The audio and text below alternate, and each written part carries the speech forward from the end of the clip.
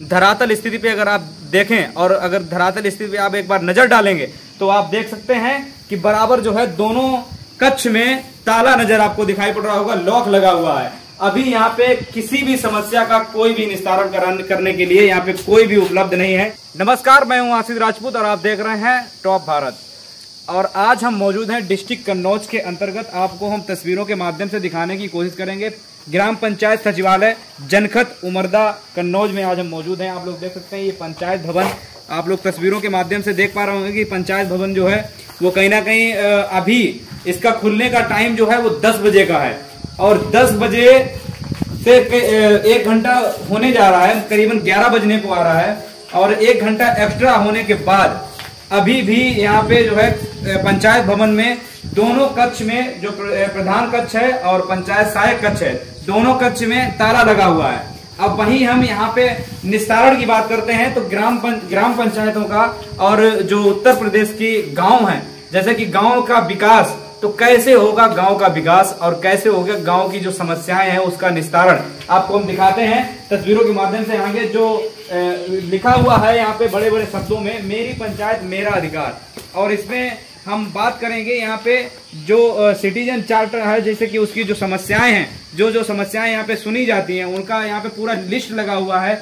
जन्म प्रमाण पत्र, मृत्यु प्रमाण पत्र, परिवार रजिस्टर और नकल और अभिलेखा की प्रति मनरेगा जॉब कार्ड हर तरीके का यहाँ पे कार्य जो है, यहाँ पे किया जाता है। राशन कार्ड में नाम जोड़ना या फिर किसी भी तरीके से यहाँ पे करीबन, मान के चलिए आप पंद्रह लिस्ट तो इस साइड में लगी हैं, और भी कई लिस्ट यहाँ पे लगी हुई हैं। तो इन सब कार्यों का जो यहाँ पे कार्य की सुनवाई जैसे किसी को उस चीज़ से अगर करवाना है, किसी को मृत्यु प्रमाण प्रमाण पत्र बनवाना है, किसी को जन्म प्रमाण पत्र बनवाना है या फिर किसी के राशन में किसी का नाम जुड़ना है, इन सब मुद्दों पे यहाँ पे कार्य किया जाता है।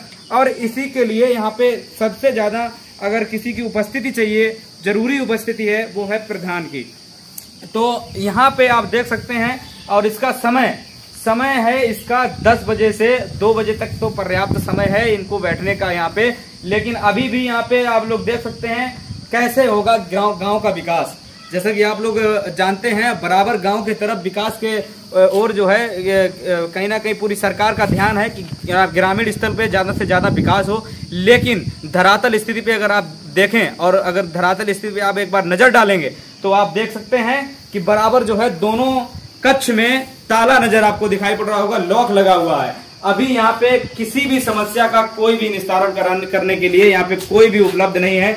कोई भी अगर, व्यक्ति अगर यहाँ पे ग्रामीण, इतनी बड़ी जनखत ग्राम पंचायत की अगर हम बात करें, बहुत बड़ी ग्राम पंचायत है, यहाँ पे अगर कोई भी व्यक्ति यहाँ पे अपनी समस्या लेकर आता है तो किसी भी प्रकार की उसकी समस्या का निस्तारण नहीं हो सकता है, क्योंकि यहाँ पे दोनों कच्छों में ताला लगा हुआ है, और इस समय हम जो यहाँ के जो इस समय कच्छ हैं, उनको तस्वीरों के माध्यम से और पंचायत भवन की तस्वीरें आपको दिखाने की कोशिश की है। आप लोग भी इस वीडियो को ज़्यादा से ज़्यादा शेयर करें ताकि सोती हुई सरकार जाग उठे और इनके ऊपर कड़ी से कड़ी कार्रवाई हो और देखरेख में, सरकार की देखरेख में सभी ग्रामीण का विकास हो और सभी ग्राम पंचायत जो विकास विकास है, उसको आगे बढ़ाने का कार्य करेंगे, जब अब डिजिटल इंडिया बन पाएगा।